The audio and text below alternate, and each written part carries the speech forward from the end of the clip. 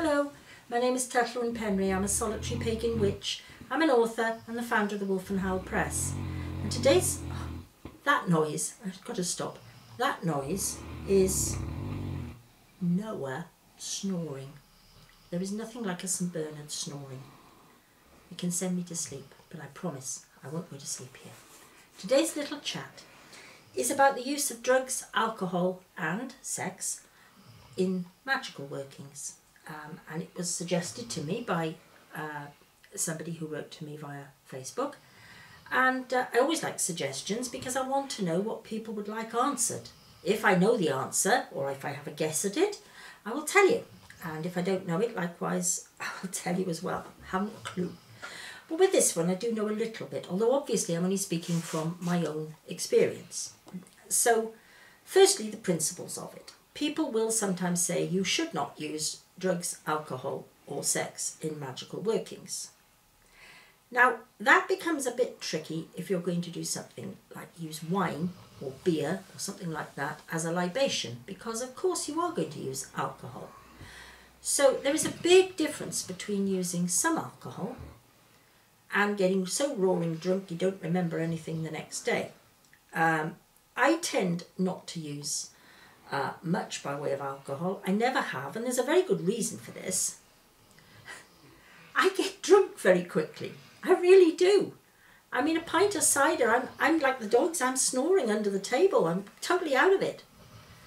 Um, half a pint of cider, and I'm, I'm singing in the life and soul of the party.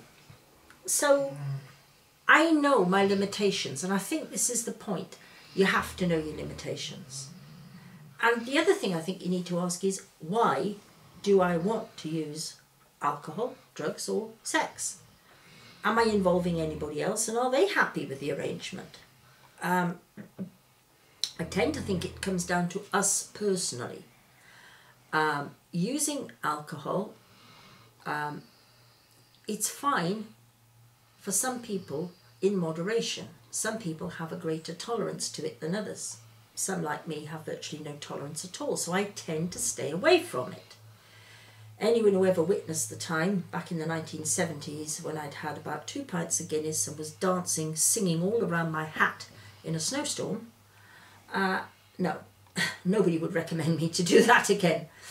Um, so, yes, it's okay, but I think what you have to ask yourself, and this is something you have to ask right the way through anything extra that you use, am I doing it because I want to get drunk? Or am I doing it because I genuinely believe that the alcohol has a vital part to play in the ritual?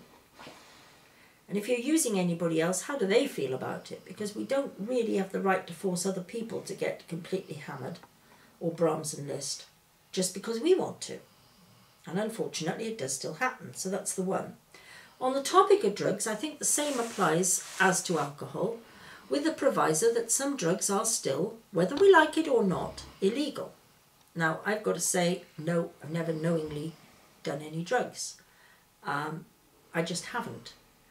I don't condemn people for doing it if they feel it's going to help their ritual in some way. I do condemn them force feeding it to other people or putting pressure on others to say, yes, you've got to do it this way, and that goes for anything in magical workings. You mustn't do it.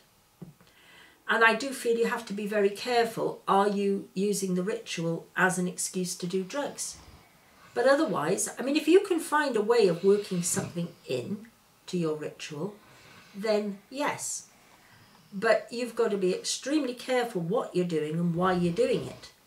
Because you see, once you start, like I can only speak from the point of view of alcohol, with alcohol, what I don't like is I lose control. Now, there are some people who feel that frees up the magic, and maybe it does for them, but it doesn't for me. So I don't do it. And if you feel it doesn't for you, well, stick to your guns. I'm not saying never try it, but I am saying understand why you might want to do it or not. And obviously, with drugs, you've got to be extremely careful because uh, some of them, as I said, are illegal. So again, you've got to be very careful. But then again, some people regard caffeine as a drug.